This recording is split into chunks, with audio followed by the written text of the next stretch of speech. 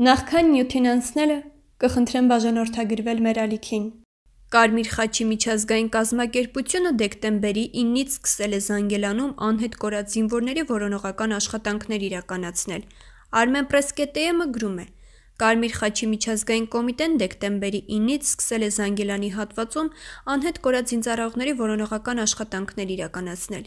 Ինչպես տեղեկացնում է Armenpress-ը, այս մասին լրագրողների հետ զրույցում ասաց Էջմիածնի զորամասի հրամանատարներից Արսեն Աբգարյանը, հավելելով, որ պատրաստվում է գնալ Կապան և եթե թույլատրեն, ինքը ևս մասնակցի որոնողական այդ աշխատանքներին։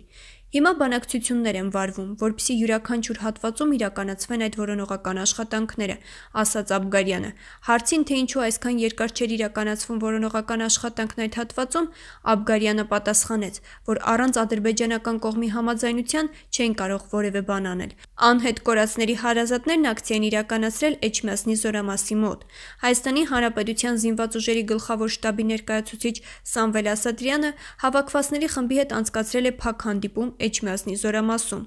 Անհետ կորած զինծառայողների ծնողները եւ հարազատները դեկտեմբերի 1-ից բողոքի ակցիաներ են անցկացնում։ Պաշտպանության նախարարությունը նրանց հայտնել էր, որ ամեն ինչ անում է, որպեսզի հնարավորինս շուտ Զանգելանի հատվածում որոնողական աշխատանքներ իրականացվեն։